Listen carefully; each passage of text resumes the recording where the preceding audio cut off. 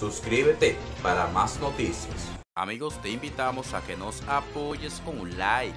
El expresidente Donald Trump demandó al canal estadounidense CNN por difamación y solicitó una compensación de 475 millones de dólares por daños punitivos en la demanda presentada en una corte federal en Fort Lauderdale, en el sur de la Florida. Trump alega que el canal de cable usa su enorme influencia para difamarlo con el propósito de derrotarlo políticamente. Gracias amigos por seguir esta noticia. Recuerda suscribirte, comparte este video. Nos veremos en una próxima noticia. Muchas gracias.